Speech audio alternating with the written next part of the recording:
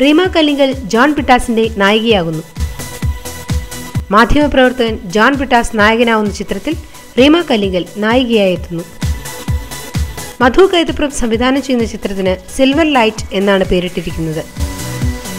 Twenty two female Kottayam എന്ന ചിത്രത്തിന് ശേഷം നിരവധി വ്യത്യസ്ത വേഷങ്ങൾ ലഭിച്ച റീമയ്ക്ക് ഇതിലും മികച്ച കഥാപാത്രം തന്നെയാണെന്നാണ് റിപ്പോർട്ടുകൾ.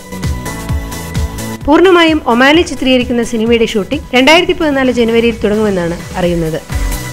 പ്രതാപ് പോത്തൻ മനോജ് കെ ജയൻ എന്നിവരും ചിത്രത്തിൽ പ്രധാന വേഷങ്ങളിൽ എത്തുന്നു. ഒമാൻകാരെയും അവിടുത്തെ കുടിയേറ്റക്കാരെയും കുറിച്ചുള്ള ചിത്രത്തിന്റെ തിരക്കഥയൊരുക്കുന്നത് സി വി ബാലകൃഷ്ണനാണ്.